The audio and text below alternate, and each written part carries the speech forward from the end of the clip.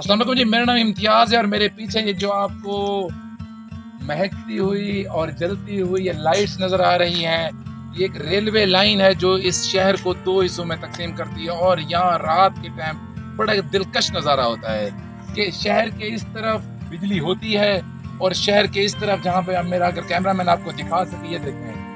बिल्कुल अंधेरी रात है। वो जो सामने आपको लाइट नज़र आ रही है, वो ट्रेन है जो थल एक्सप्रेस अभी थोड़ी देर बाद यहाँ से गुजरेगी।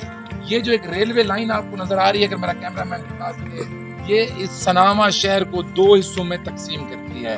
अब मुझे समझ नहीं आ रही कि बापडा का यह असूल क्या है कि शहर के शदीद गर्मी में भी शहर के उस तरफ़ बिजली होती है और शहर के इस तरफ़, ये देखें, यहाँ पे काली रात में घुप अंधेरा है और ये अंधेरी रातें हैं।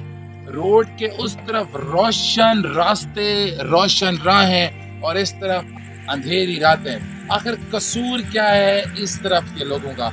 जब हम बापडा के किसी अफसरान से पूछते हैं वो कहते हैं कि ये दही इलाका है या क्या है? देखिए इस वक्त ये शहर जो है ये फैल कर आगे की तरफ़ तकरीबन ये बस्ती गरीबाबाद से पीछे पीछे बस्ती सेम नाला तक पहुँच चुका है।